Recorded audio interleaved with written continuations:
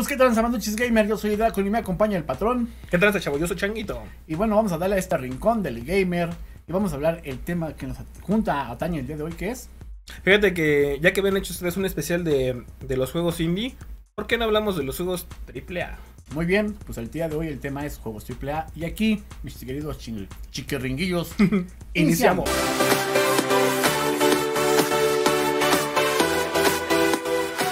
Tal comunidad gamer? Esto es El Rincón del Gamer. Los dejo con Hidracon y Changuito. Iniciamos.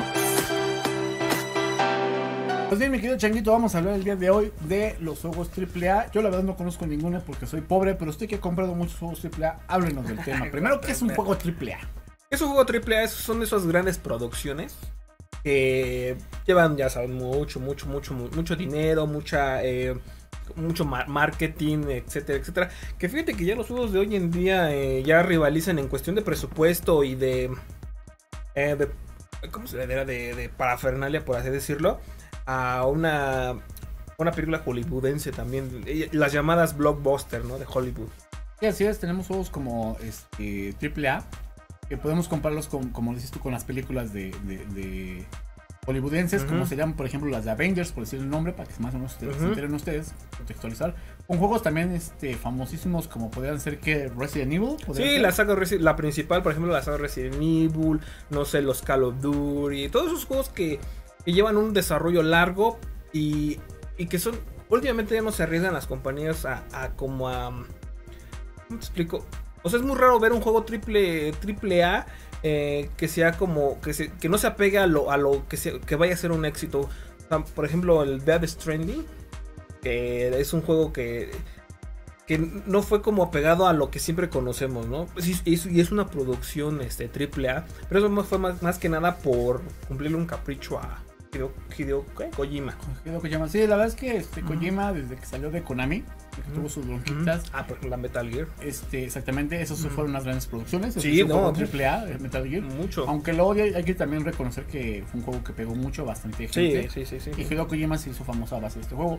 también, haciendo un poquito de memoria, este, Kojima quiso hacer, este, eh, como que tiene ese trauma de hacer una película y hizo la película de, bueno, el juego película, el de Silent Hill PT, con Guillermo del Toro, que nunca se llevó a cabo, ¿no? Que nomás fue como un demo que nos sacaron y nunca se llevó a cabo. Entonces de, ahí este, sus berrinches de Kojima, una bronquita con Konami por, por financiamiento y todo eso.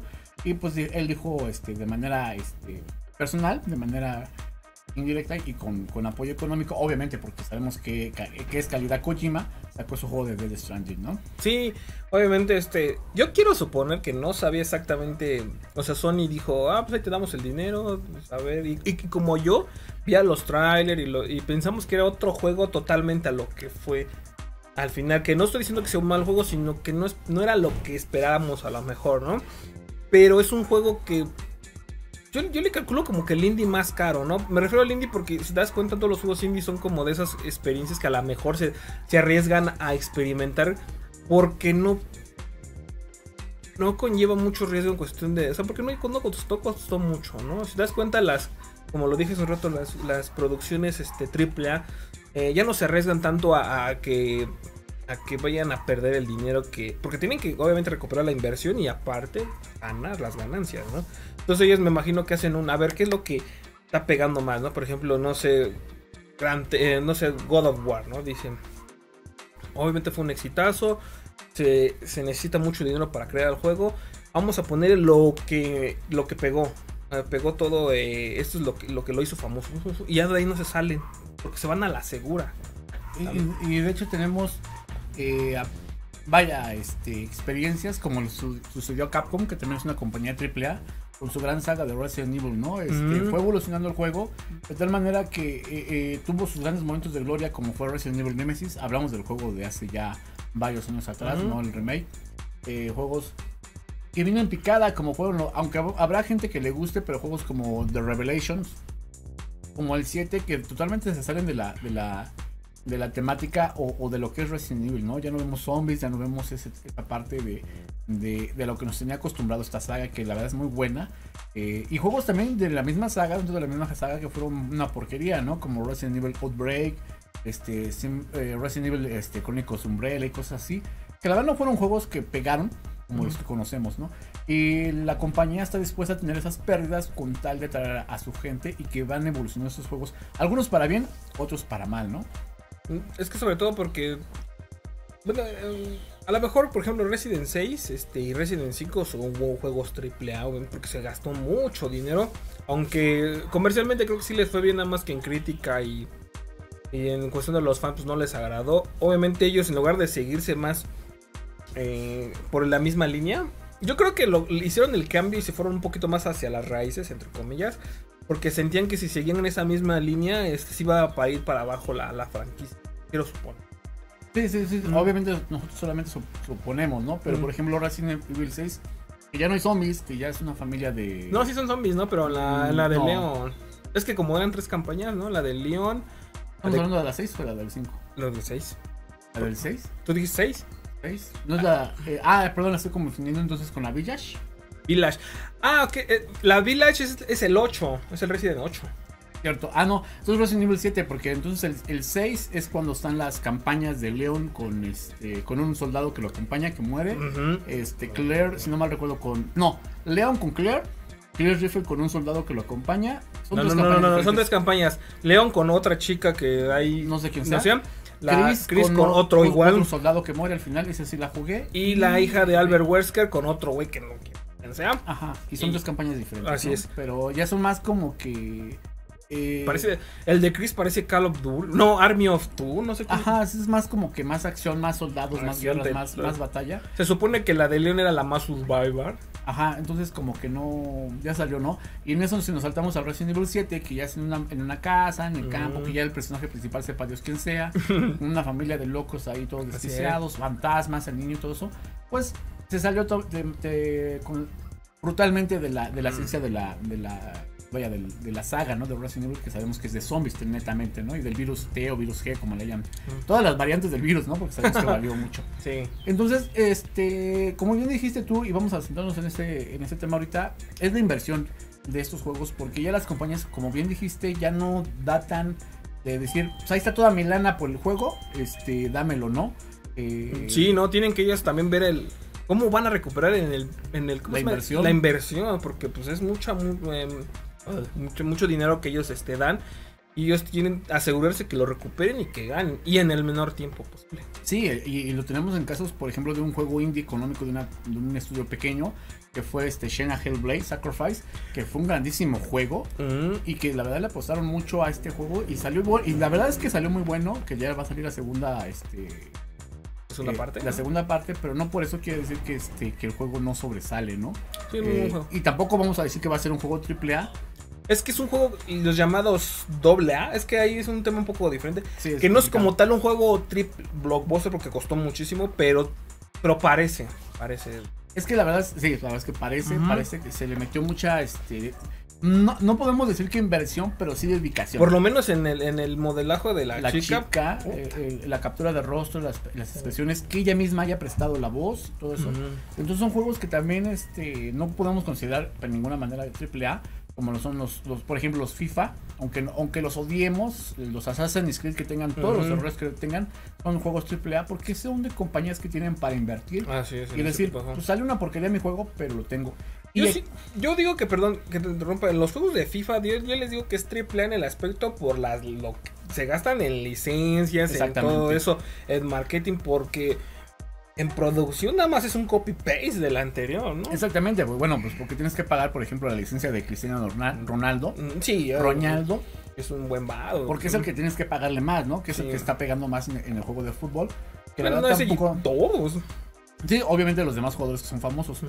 Pero en sí, en sí, por el juego no lo es. Es por la No, licencia es por la las FIFA, licencias, ¿no? exactamente, exactamente. O sea, nada más quería reco- Exactamente. Y hay juegos como, por ejemplo, Assassin's Creed, que sí vienen de una compañía que es Bugisoft. Todo el mundo ya conociéndola como Bugisoft. Este, que también son juegos AAA porque... Sí, claro. Independientemente de si sean buenos o no son juegos triple A por la alta producción que, que conlleva, ¿no? Sería el juego. Así es, por eso a- en este caso si, si los comparamos con Dead Stranding, por eso a- a- mencionamos el Dead Stranding de Hideo Kojima, que no es un juego AAA, pero este... O sea, que- es triple A por la producción. Pero hizo. Eh, ajá. Es que se gastó mucho dinero. Pero no fue de una compañía. O sea, no fue de una compañía, digamos, de renombre. No fue de No fue el, no tuvo el respaldo de Konami. No, es- pues ya lo había corrido. ya lo había- o sea, sí, fue el de dinero de Sony. Exacta- hecha- exactamente, ¿no? De, de- de Sony, porque ¿qué, qué es lo que quiere Sony al final de cuentas? Pues tener exclusivas, ¿no? Porque él- Exactamente. Él, apuesta por las exclusivas, a diferencia de Xbox, que él apuesta por el crossplay y por el multijugador al final de cuentas, Sí. ¿no? La venta de juegos.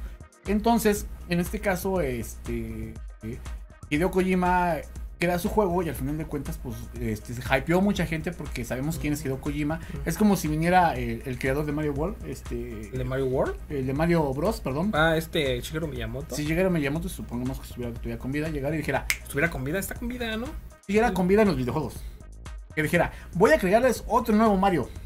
Ah, ok. Así de todos así de, oh, hypearían bien cañón, ¿no? O llegara este güey, de- el que creó el este, Resident Evil, el Shinji Mikami, Mikami, y dijera, voy a crearles otro Devil Within, así de todos. "Ah, No, pues no, no, no, no, no, no, no- gastaría tanto hype, pero sí, sí dijera, Oh. vamos a reinventar, eh, ¿qué te parece si vamos a reinventar Resident Evil? Así todos así de, espérate, güey. Porque ya los que jugamos Resident Evil 2, el remake, Resident Evil 3, el remake, que ya, por eso, ya hicimos unos streamings de Ujú. ellos, este, no nos dejarán mentir que no son malos juegos, pero a compa- si los que hicieron hace 10 años atrás, 20 años atrás, tuvieran las gráficas que tenemos hoy en día, serían una bestialidad, ¿eh? Lo digo honesta y sinceramente desde, desde el corazón. Resident Evil 2, Resident Evil 3, Silent Hill, este, dame nombres, juegos chi- chidos de aquella época, juegos cañones de aquella Ujú. época AAA. Si los viéramos con los gráficos del, del día de hoy, serían unos juegos bestialmente fuera de, de lo común. Así lo digo honestamente. Bueno, desde mi perspectiva, Mm. no sé tú qué opinas en esa, en esa, en ese punto. No, sí, o sea, sí estoy de acuerdo contigo. Nada más que, bueno, Dance hizo como un remake, vendría siendo como lo mismo que dices tú, ¿no? Pues, son juegos de antes. Bueno, pero es que tú No, te refieres a como a la mecánica que ser, está totalmente intacta o como. ¿Ah? Es que como dijiste que si fueran, por ejemplo, Resident 2 y Resident 3 con gráficos de, de hoy, pero Ah, pues están ah, los remake, ¿no? ah, no, por eso. Son remake, Ajá. pero no, son, no fueron hechos por este Shinji Mikami. Ah, no, no, chique, Mikami ya no está en. Por algo ah, ya, ya, ya. Fue lo que, fue de, de hecho, ahí- ¿vieron cómo Es que no le había atención? entendido ese. Dije, ese... si Shinji Mikami Ajá. fue ahí inicié, llegar otra vez y les dijera, nos vamos a reinventar Resident Evil, toda la saga con los gráficos o la tecnología que tenemos hoy en día, todos nos hypearíamos. Ah, sí, claro, cacho. claro, claro. Es a lo que voy. Y veríamos que, eh, por, por- por eso pongo, puse el ejemplo que Resident Evil 2, el remake, y Resident Evil 3, remake, Ok. Ah, ya serían una basofia en comparación de la historia, de todo el contexto de los, primer- de los originales, de los de hace 20 años. Y, y contextualizo y repito otra vez. Si viéramos aquellos juegos con los gráficos de hoy en día, sería una bestialidad. Una bestialidad, sí, claro, ya, ya te, te agarré. Sí, no, sí, totalmente de acuerdo. Así debe ser. ¿Tú conoces, bueno, tú, a ti te gustan que existan los juegos AAA? Sí, debe de No, haber, sí, claro, porque solamente así demuestran eh, la tecnología con la que contamos hoy en día. Siento que los juegos indie me gustan y, y Son es- buenos. y son buenos y porque no digo que todos sean buenos, ¿verdad? Pero es, es- es necesario que exista también los indies porque así experimentas otro tipo, Es que de, mira, tipo de juegos. Pero por ejemplo, un es que triple el, el triple, el, el- el- inclusive no necesariamente, a lo mejor vivimos engañados, porque pensamos que siempre los juegos de, de AAA, de grandes producciones, siempre tienen que este, dar el, la pauta de hacia dónde va el, el, ga- el mundo gaming. Y no necesariamente porque tenemos Among Us, tenemos este Fortnite o, o, o Play- eh, Battlegrounds, que fueron juegos que salieron de, de estudios pequeños y que se se desarrolló, desarrolló el que conocemos hoy en día, que es el Battle Royale. ¿Sí me Sí, explico? no, o sea, digo. el, el juego de, por ejemplo, de Fall Guys, también, ¿no? Que este, son juegos que Limbo, eh, Forest, o sea, puedo mencionar mi- millones de juegos que no, no, no nacieron de un juego AAA, nacieron de la creatividad de estudios pequeños. Sí, por eso te digo, o sea, eso es, es lo bueno de tener los juegos indie porque se, se avien- ellos sí pueden aventarse a experimentar cosas nuevas o cosas que revolucionen o, o innoven, no sé cómo llamarlo, eh, esto de los videojuegos. Los juegos triple, triple es muy raro que se avienten. Por ejemplo, eh, Es que apuestan más por la historia, perdón, apuestan más por la historia por la calidad gráfica, por la Sí. producción. Claro, exacto. Juegos Y, y que demuestren el por la- verdadero el poderío de, obviamente, de las consolas más recientes. Exactamente. Entonces tenemos que, que- que- ahora sí, perdón que te rompe, tenemos que tener, como dijo Thanos, ¿no? Equilibrada la balanza juegos muy chingones este, gráficamente y de producción, pero también juegos que sean innovadores. Sí, claro, claro. Hay ¿no? que tener de, ahora sí que de, de todo. Y fíjate que. Eh, ¿Qué es lo que te iba a decir? Ah, voy a creer se me fue la onda. Que el Solamente Kefren es- ah, no. No, ya, eh. Fíjate que el. Y sí se me fue la onda, ¿eh? Y justamente te lo iba a decir cuando me interrumpiste. Mm, ya se me fue. Pero bueno, al final de cuentas tenemos, no necesariamente los juegos AAA son, quiere decir que sean buenos juegos. Ah, ya me acordé, perdón. Porque este, en este caso Cyberpunk 277, Exactamente. que, que se, le, se hypeó mucho, se, habló varios años. Sí, sí. Y ahorita te- tiene hasta demandas por ser un malísimo juego, ¿no? Sí, digo, eh, sí, exactamente. o sea, no quiere decir que un juego AAA quiere decir que siempre va a ser exitoso. Pues hay un juego super AAA y pues resultó ser un desastre. Pero antes de que se me olvide lo que te iba a decir, cuando dije que hay muy pocas compañías que se arriesgan a salirse de, de lo seguro y, y a lo mejor cambiar su, por ejemplo, su franquicia por el conllevo que perder la toda la inversión. Por ejemplo, está el reciente caso de God of War que se aventaron a cambiar Ajá. Sí, porque era un. Es que este de, de 2000, del God of War de 2018. El es- más reciente. El más reciente, bueno, el más reciente, este. Las llaves del Olimpo. No, es del Olim- no, eh, obviamente se salió. No cayó, no cayó, to- totalmente de. De, to- de los anteriores se juega diferente, vaya. Y se arriesgaron a perder. No sé, no tengo el dato, obviamente. No sé si esté por ahí. eh, de cuánto costó, pero costó una lanísima hacerlo. Afortunadamente. Le salió bien, porque Le salió muy bien. le salió muy bien y todo eso. Y, y los fans recogieron el cambio, ¿no? Lo hicieron un poco más este eh, de las Foresco, de las do Foresco. Entonces, este, pero lo bueno es que, que, que- que gustó, ¿no? Sí. A lo que de voy hecho, es de, ¿eh? este, de hecho, este juego es, se ve bien gráficamente. Sí, claro. Con la jugabilidad y la historia están fantásticos. Y creo que es a lo que estamos acostumbrados. Cuando una compañía como en este caso Bethesda, pongo otro ejemplo, este The Last of Us. Habrá quienes, como él les dijo, es, este juego es como el América, ¿no? Eh, habrá o, o lo amas o lo odias. Porque este juego o, o te metes de lleno a, a toda la historia que no es la que esperas. Eh, o la que teníamos todos en mente cuando lo lanzaron, o, o- o nos hypeamos todos los que eh, escuchamos cuando escuchamos la primera vez de que se iba a lanzar este de The Last of Us, y ya se lanzó, ya lo acabaron y todo. Y cuando vemos la historia y no es la misma que teníamos en mente o la que nos quisimos a- imaginar nosotros, pues o lo odias o dices, o lo entiendes y dices, lo acepto, me gustó, eh, lo veo como un juego, o lo odias por la temática que cambia rotundamente a lo que teníamos este, experimentado en el primero, ¿no? Mm, sí, así llega a pasar. Oye, por ejemplo, ¿tú sabes cuál es el juego más caro hasta la fecha en cuestión de, de desarrollo? Claro que sí, Among Us. Among Us, exactamente. No, Otro- ¿cuál? tú, tú, tú, a ver, Yo tú, tengo tú- entendi- tú- tú eres el, el- el experto en No, eso. tengo entendido que Grand Theft Auto 5 Cinco, ah, Simón. tuvo un presupuesto creo que de 200 millones, pero eso creo que no están contando el, mar- el marketing, pero tuvo de 200 millones. Obviamente ese ya uh, lo recuperó, lo recuperó y sigue dándole... Tengo una duda porque vi una competencia en algún momento porque habían dicho, y hablando de, de grandes este, compañías, en lo que más se gasta eh, el videojuego eh, no es en el modo historia, no es en la calidad gráfica, sino en, la, en, la- en el tamaño de los mapas. Este, eh, hablando de juegos de sandbox o de mundo abierto, como es GTA, como es este Assassin's Creed y otros juegos similares como The Division. Eh, por ejemplo, uno de los casos que presumía The Division es de que la ciudad de Nueva York, que es donde se, se basa la historia del juego, es completamente idéntica a como es Nueva York en la, en la actualidad, ¿no? Entonces, este, pero también hablando de esto de los mapas, que la verdad casi no se menciona, ¿no? Y hablando de juegos AAA, porque son los que sí tienen para invertir en esto, eh, es la parte de que crear el mapa no es nada fácil. No, nada obviamente económico, no. Y gasta mucho espacio en nuestros discos duros. O sea, hay veces que el juego es muy sencillo, pero nada más el mapa, el tamaño del mapa es lo que, no, lo que más pesa. Y en GTA está fantástico sus mapas. Sí, no, y verdad. aparte, como ya todos sabemos, ya los desarrolladores de GTA ya no escatiman en gastos, saben que es una franquicia que vende, y sobre todo ahorita GTA V, está- de hecho dicen que es la, la producción en entretenimiento, llámese música, este, Más cine grande. y todo, en cuestión de que ha ganado dinero, o sea, de Bast- todo. No, de pero todo. es que ya cuántas generaciones tiene.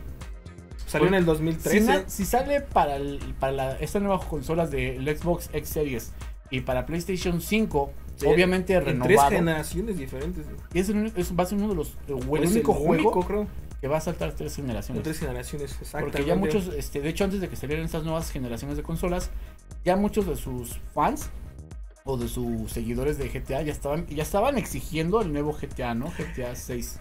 Sí, eh, es un hecho que lo están haciendo, ¿no? Eh, de hecho, por ahí rumores de que ya está en producción, pero se la están tomando reglas porque sigue vendiendo. Sigue vendiendo y carísimo. O sea, bueno, hoy ya bajó de precio porque este como que calmaron a la gente con del eh, Red Dead Red Redemption 2. 2 que también es un juego super triple A. Super triple A, exactamente. Y este, como que la gente se calmó tantito. Pero nada más que se aburren otra vez de este juego. Van a regresar al GTA V porque GTA V no es un juego diseñado para jugar en línea. Y está pegando horrores en jugar en línea, ¿eh? Sí, pues es lo que. Pero bueno, ahí tenemos un caso de GTA. Eh, me da gusto porque así, así le invierten y, o sea, ellos no escatiman en dinero y le meten, no hay pedo, vamos a hacer esto, esto, el otro, el otro. Que, que contrátate al mejor diseñador de, la ciudad para que te haga el escalado. Nah, no hay pedo, tú tráetelo. El hecho es que el juego salga de primera. Así es, así es. La verdad es que este es fantástico. Y ya para concluir, yo creo que los juegos AAA deben estar sí o sí. Ah, sí, por supuesto. Pero, bueno, para mí. Pero con la condicional de que no nos saquen juegos mediocres. Este, como los FIFA, como los W. Por ejemplo, un, triple un juego AAA muy mediocre para mí, mi punto de vista, los WWE o los UFC que la jugabilidad es patética, la historia es patética. y este, inclusive se le ven los, los bugs por todos lados. Entonces, este, creo que es lo único condicional, ¿no? Porque por eso se, se tienen el presupuesto. No pagas, por ejemplo, los, los WWE. Este, son juegos carísimos.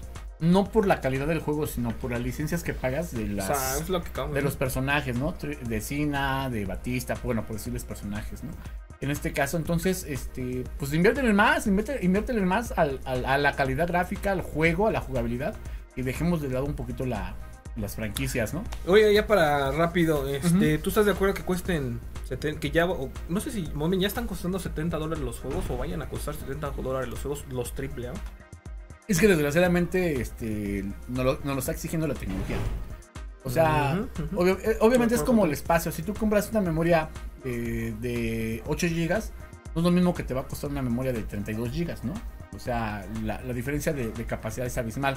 Igual con los juegos. O sea, si queremos nuevas consolas y las consolas tienen más, calidad gráfica, pues obviamente va a requerir más, más espacio, no solamente en nuestras consolas de espacio de, capacidad, sino para ellos de producción, ¿no? Entonces, pues obviamente tienen que subir.